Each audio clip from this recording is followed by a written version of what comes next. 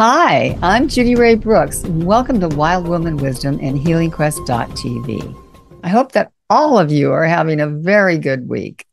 I have special guest today that I recently interviewed via Zoom from his home in India, Kamlesh Patel, or known to some affectionately as Daaji. He offers a very practical, experimental approach to meditation and the evolution of consciousness that is simple and easy to follow. His new book, Spiritual Anatomy, which I've been reading and finding very interesting, I'm loving it. It's all about heartfulness. He is a pharmacist by trade and a best selling author, also an environmentalist who spearheaded an initiative developing Kshana Vanam, a green ecological paradise on 14 acres of rainforest in India. It's an animal sanctuary, medical and educational center, and a wellness retreat. And I really want to go and visit him there. He is the leader of the Heartfulness Movement, and his work is a unique blend of science and spirituality. You have been a spiritual leader and teacher for decades and uh, influencing people and thousands of people all over the world with your meditation practices. So maybe uh, why you decided at this point in time to to write this book? Well, this book has always been there since 1945. Uh, it was written by my masters, but now I have rephrased it in the modern language that we can understand, we can relate to. It is not merely a belief system. As more knowledge has descended and more realization dawned upon me, I have shared um, that there are not just seven chakras, but there are infinite numbers of chakras, out of which almost 17 to 18 are palpable. You can feel their presence.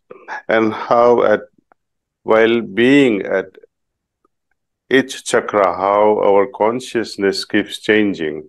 And that is what I'm trying to offer that see that spiritual anatomy is not a myth Spiritual anatomy is not a belief system. Spiritual anatomy, like physiological anatomy that we have, we have neurological aspect of our existence, but hardly anyone has written so boldly, so experience.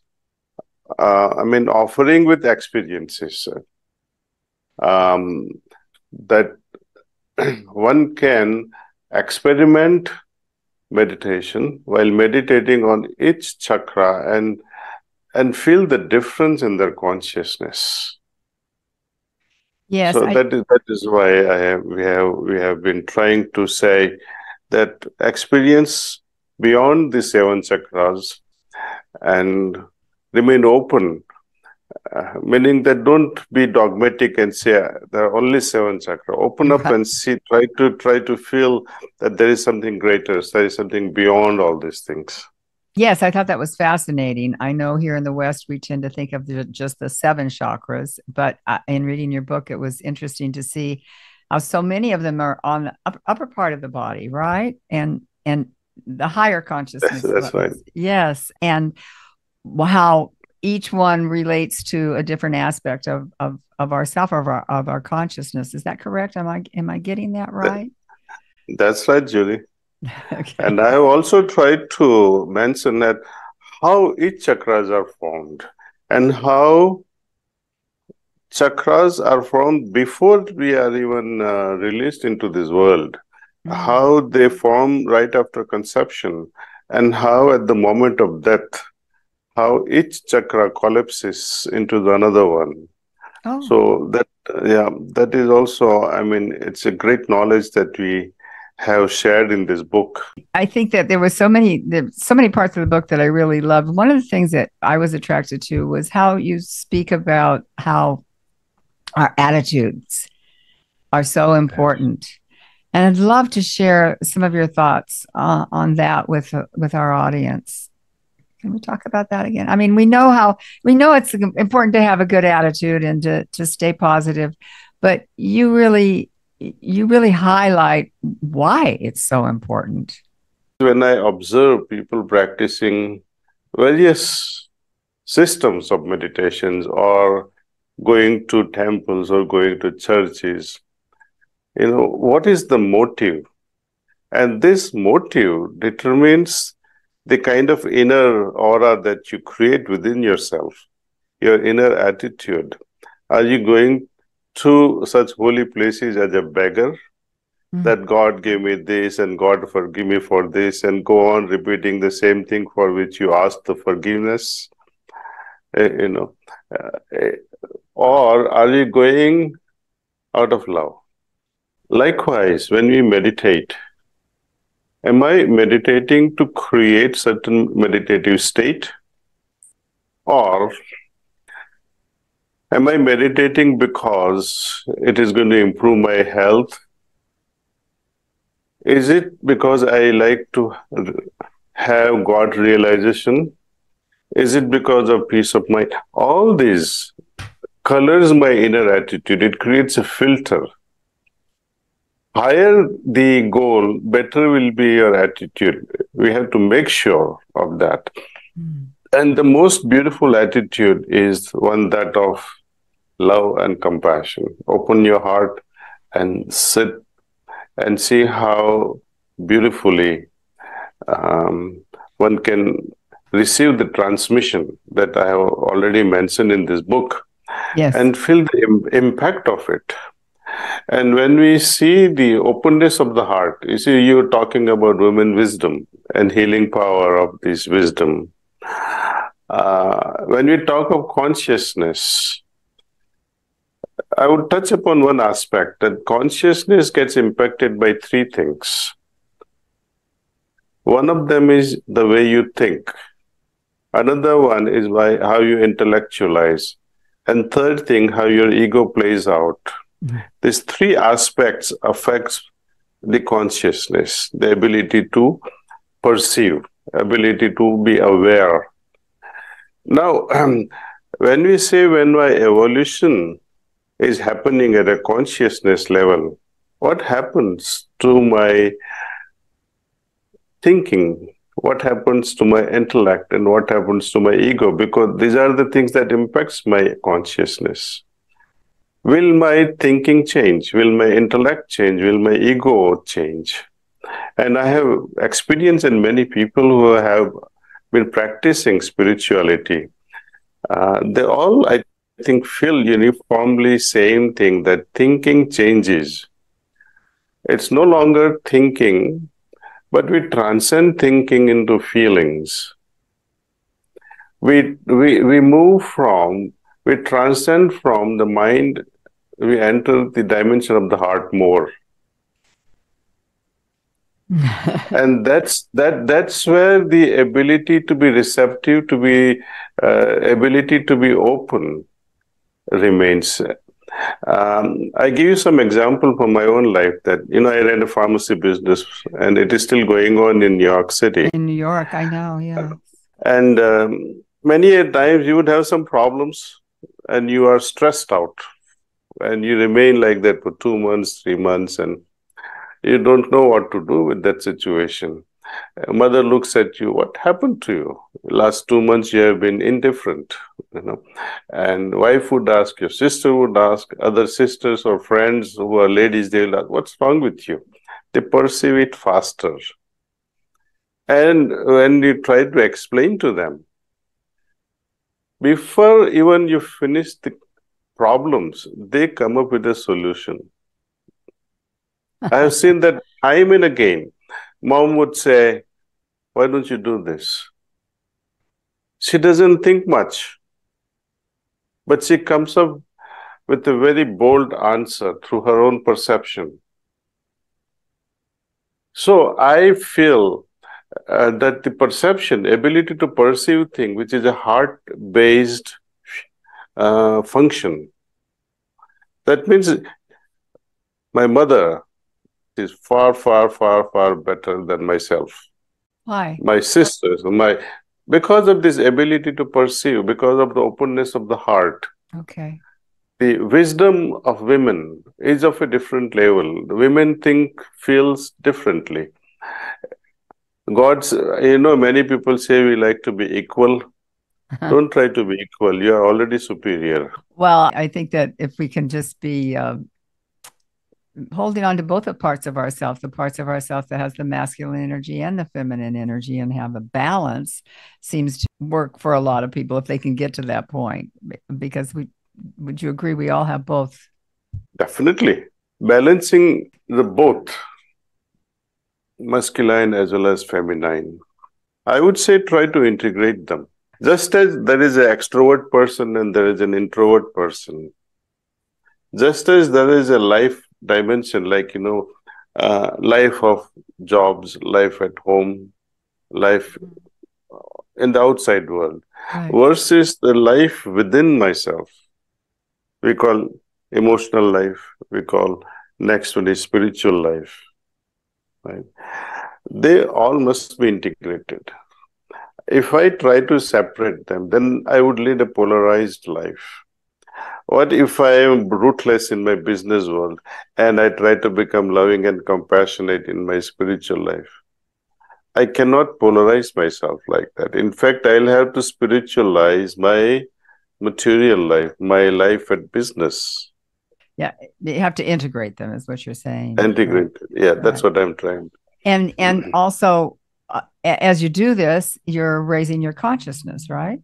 but that changes all the time. I know that you have a heartfulness practice that, um, and you have people that actually will help. They can people can go to your website and find someone that will uh, assist them in their meditations, and that practice, as you say, uh, it's a practice, and it's something that we need to do mindfully. Um, all the time and i i know that you've you've been teaching meditation for years and that's something that you do on a regular basis and provide to thousands of people all over the world with this program. Can you speak to that a little bit? Because I think that might be something that our listeners would be interested in knowing about, especially during these troubled times. Yeah, yeah. Well, whoever likes to try meditation, mm-hmm. They don't have to come to India or they don't have to travel around and fall at someone's feet and make them a guru. No Nowadays, let's make use of technology. We have the app called Heartfulness app. You can download that. And whenever you feel like meditating, you know, it's like Uber. You, whenever you want a taxi, you order a taxi, it, it, it comes to your doorsteps. Yes. Likewise, you know, you woke up early in the morning at two o'clock and you can't fall asleep. Uh, and you don't know whom to call at two o'clock in the morning to meditate with you. So you just use that app. So maybe maybe someone is awake in Japan or someone is awake in China or India, and they can connect with you. You know, and we all have our phones and lying around with on our bedside. And if you're awake and we see the ping, ping that you know someone is interested in meditation, we jump on it and we accept that call and say, okay, Judy, now you can meditate. I'm with you now. So just follow the steps. And we spend about half an hour uh, meditating together. And you make you make a note of the experience that you have gone through during that meditation. Mm-hmm. Try to understand, try to feel, perceive the state of meditative mind before and after.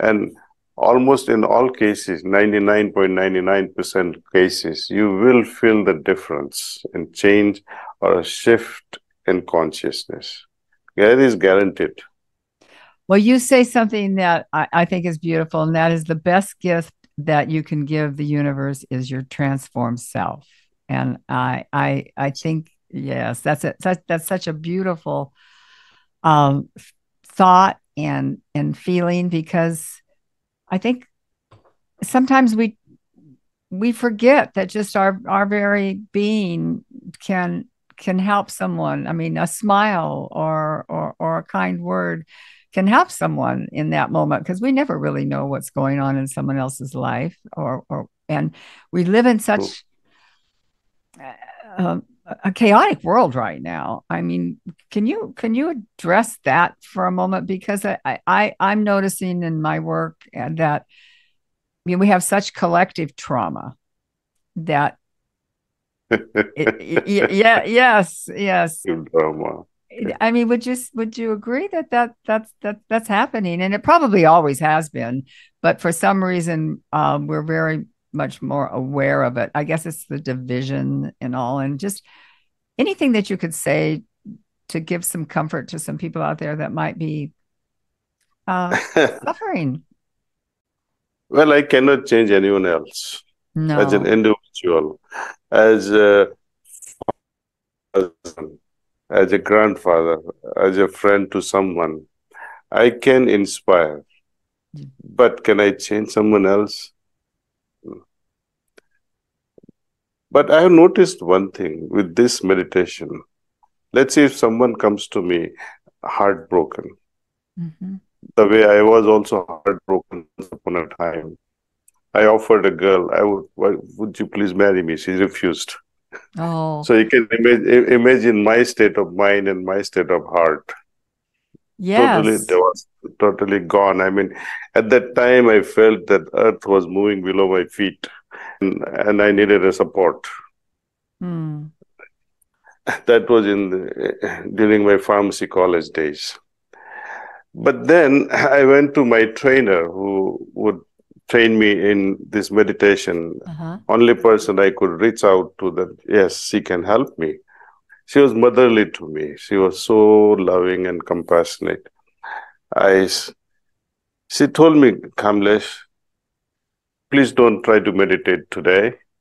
I will meditate for you. I will meditate with you, but you don't meditate. You go home. And I said, tomorrow I have my exams. He said, don't worry, don't even study. Oh. Yeah. And uh, that's, I did exactly what she told me. And that is it. I was elevated to clouds after that. I don't know what she did to me through this transmission and meditation. I was absolutely relieved from it. I could get rid of those heavy, you know, those lead like uh, feelings that you have, heavy feelings in your heart. I could get rid of it instantly. Uh, did I forget it? No. Hmm. Memory remains, but the emotional baggage gets cleaned up. Oh, I love that. Yes, yes. because to to you know we have only two types of memories. One is cognitive memory at the man, mind level, and we have emotional memory at the heart level. What troubles us the most is this emotional baggage that we carry in the heart. Mm-hmm. Yes. Once you once you once it is cleaned up, once it is removed through this heartfulness cleaning practice, you are free from that baggage, free from that burden. And I would not recommend that you should forget cognitive memory. Let it be there. It teaches us some lessons. Mm-hmm. Don't let it uh, overpower you. Don't let that be, what do you call yeah. the, maybe the monkey mind sometimes? monkey mind, that is his business. I mean, you can't stop it. let it be. Let it remain a monkey. It's okay. It's okay. Right. Okay. It's all right. As long as you can handle the monkey and train the monkey, you can train the monkey to bring mangoes from the tree. did you did you see the jung, Jungle Book? Yes. Yes. Where the Mowgli is training Baloo the bear, uh-huh. and Baloo the bear, he is so you know. Then he he takes help of Bagheera. I mean not Bagheera. This Mowgli gets the honey done Imagine if, if you can train a monkey to climb a tree and help you fetch honey. I, so mind mind is not our enemy. Only it can become our best friend when we train this mind. And meditation helps there. It helps tame a monkey mind. Uh, well, I like that. Let's talk for a second again about what you mean by a transmission, because I think that was a really important part of the book for me. a Transmission is the yogic energy that we use in transformation or fine tuning each chakra. Uh, fine tuning means how to remove this emotional baggage. And depending upon the emotional weight of the baggage, it settles on higher or the lower chakras. Mm-hmm. Okay. Just like, you know, when you observe the evening sky and you see different colors in the sky, Mm-hmm. it shows how the polluted air is having a gradient. The, the darker portion will be at the lower level and the more refined impurities will Yeah, settle on the top Yes. like that. So, anger, extreme passion, uh, devour someone at any cost, and have this rape inst- instinct in one's heart. Uh, that settles at the lowest part of your chakras, and the higher uh, impurities related to ego will Mhm. settle at the higher chakras. Now, when you compare calmness, peacefulness versus the restless heart, okay, that's one s- state of consciousness. Another one, I can say, heart is so content Uh-huh. versus heart is so desirous of so many things. Okay, that's another level of consciousness. Third one, you are so afraid, you're so fearful. Versus you have you have become so courageous and fearless in your heart. That's another level of polarity of consciousness. Fourth, you can say there is a, so much of compassion in your heart, and at the same time, the same chakra will also talk about indifference or hate. Hmm. There are chakras where you feel so clarity, at the same time, there will be so confusion. So each chakra has two opposite qualities. Right. Now, I give you a small example. Our mind, as you say, it's a monkey mind. Our attention is either positive or negative or neutral. Better neutral, huh? By the neutral, yes. Then let's say when you are when you are flying and you're, you're going from one city to another, you're seated in a flight and you are on the first row or second row and you keep on watching passengers coming in. What goes through your mind? Or you're in a train, what goes through your mind? Or you're driving, what goes through your mind when the way how other people drive? Oh, it's a good driver, it's a bad driver. Sometimes you don't even notice what's happening there. Uh, oh, she's a good passenger. He is not a, such a good passenger. He's why is he carrying so much of baggage in the you know, doesn't don't they know how to travel? This chatter goes on. And man would keep thinking, oh, this air hostess is so good. I wish she was in my bed tomorrow night. Right? So this what do you see when you see a TV, when you watch a TV? Well, it depends how much you're watching. So there are mainly two categories, two streams of my positive and negative things. One is about person. Oh, he is so charming. She is so beautiful, right? And the sensual tendencies wake up in us.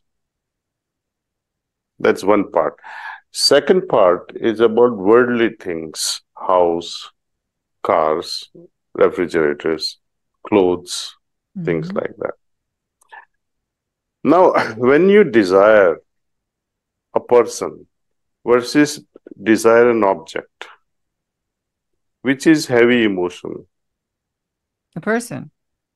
yes, that is heavier. And that settles at a chakra I have named in this book as a chakra called B chakra, hmm where all the essential tendencies would settle there.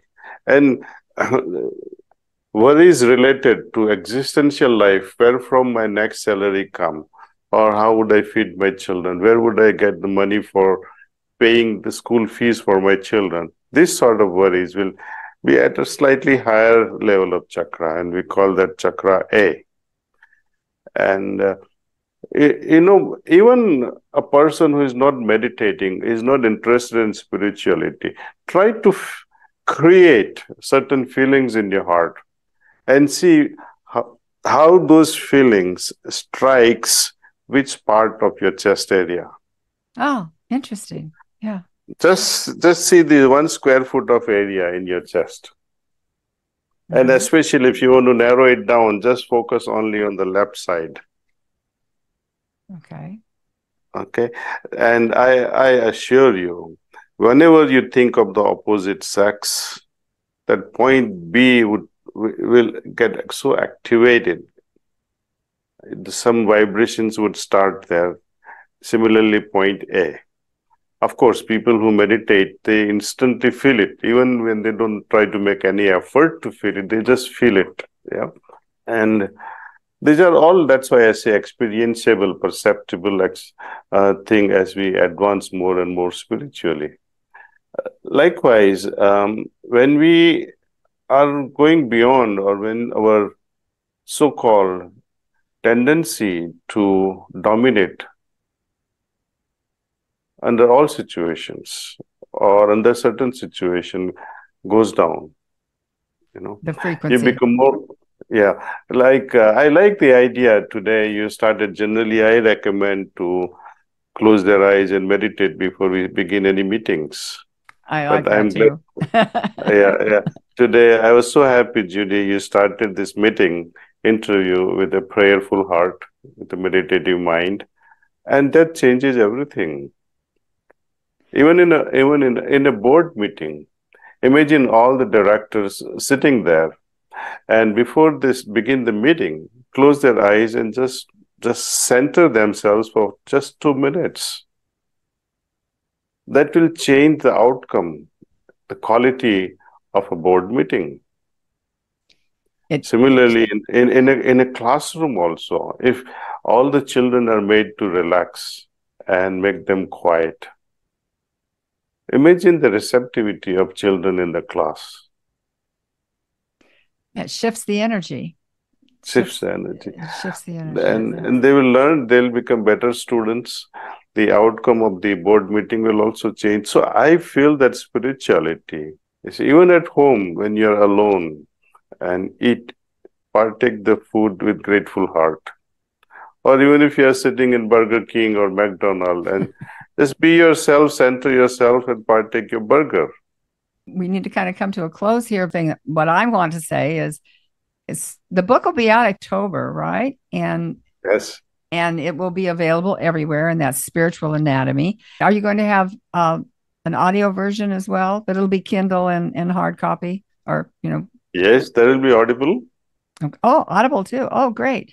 Because I think just hearing your voice uh, is settling for people. It certainly has settled me down. And we we started with some technical difficulties today, and that kind of uh, got all washed away, which is nice. And so I always like to ask if there's one last message that you would like to leave our listeners and viewers with. Definitely. That I wish that people would approach spirituality with a scientific mind and rootless heart. Oh. Dissect things, dissect things. Just don't have a blind belief because what do you do with a belief anyway? A Christian or a Hindu or a Muslim or a Jew talking about God and say, Oh, I believe in God. Big deal. what do you do after that? Yeah. Have you changed your heart? Has your heart changed? On one side you pray, and on other side you feel like shooting someone down. Mm. Mm. That doesn't work.